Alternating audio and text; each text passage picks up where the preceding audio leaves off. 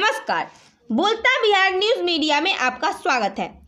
मध्य विद्यालय नौनपुर को plus two का दर्जा नहीं मिलने से ग्रामीणों में सरकारी व्यवस्था के खिलाफ आक्रोश। तेगरा प्रखंड अंतर्गत पिपरा दोदरा- दोदराज पंचायत का पिछड़ा बहुल क्षेत्र एवं नक्सलाइट कहे जाने वाले नौनपुर गाँव, जहाँ अधिकतर लोगों का जीवन गुजर बसर, मजदूरी और सब्ज़ी की खेती पर टिका हुआ है। वहीं घनी आबादी के बीच अवस्थित मध्य विद्यालय नौनपुर जिसमें 700 छात्रों की होती है उपस्थिति। विद्यालय के पास कुल 14 निर्मित कमरे 13 शिक्षक उपलब्ध। 13 कट्टा से अधिक विद्यालय के नाम से भूमि, दो चपाकल, आठ शौचालय एवं चार दीवारी युक्त टेन प्लस टू विद्यालय के लिए पर्याप्त संपूर्ण मापदंड।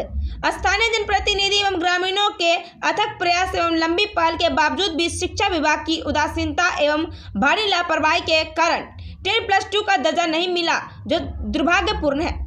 पूर्व मुखिया विश्वनाथ प्रसाद महतो, जदयू के प्रखंड उपाध्यक्ष अविनाश कुमार, पंचायत जदयू अध्यक्ष शंभू पंडित, कृषक पंकज कुमार, वार्ड सदस्य विमल किशोर सिंह सहित दर्जनों लोगों का कहना है कि बड़ी आबादी का यह मध्य विद्यालय, जो टेन प्लस टू के सभी मापदंड को पूरा कर रही है। इसके बावजूद भी विद्यालय को टेन प्लस टू का दर्जा नहीं मिला।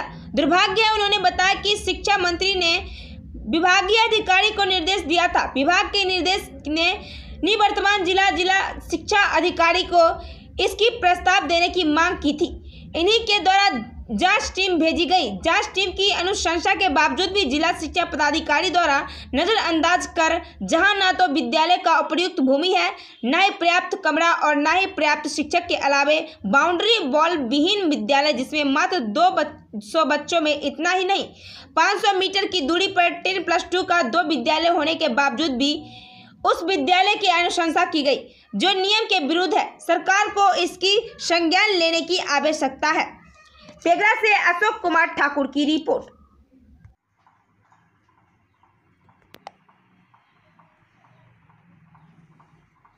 जो बैठक चल रही है, नोनपुर मध्य विद्यालय के कमरा में, वह नोनपुर मध्य विद्यालय को उच्च स्तरीय माध्यमिक विद्यालय बनाने में जो सारी प्रक्रिया की गई। नोनपुर में जो विद्यालय है, वह एक घनी आबादी है नोनपुर गाँव में और वहाँ के वहाँ के जो विद्यालय चल रहा है, उसमें 700 के करीब बच्चे हैं। बच्चियाँ की संख्या ज़्यादा है।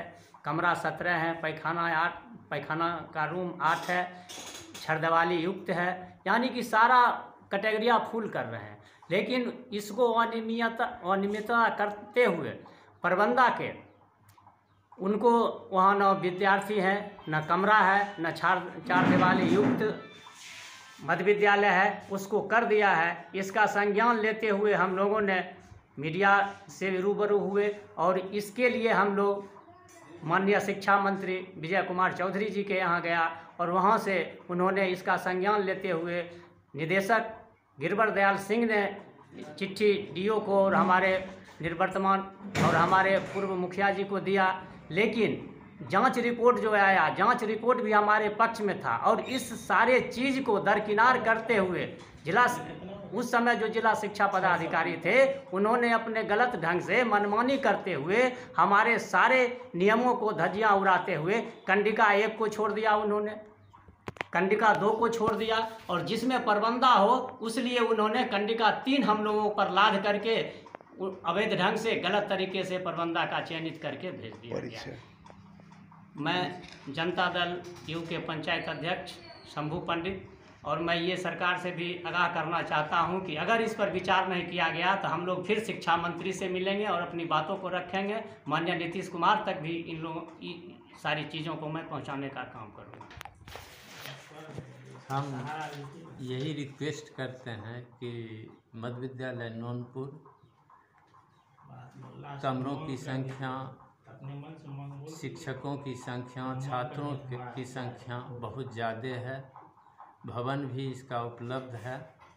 और यदि यहाँ हाई स्कूल बन जाता है तो घनी आबादी होने के कारण यहाँ के बच्चे और बच्चियाँ काफ़ी लाभान्वित होंगे। परिचय। मेरा नाम जोगिंदर सानी प्रधानाध्यापक मध्य विद्यालय नौनपुर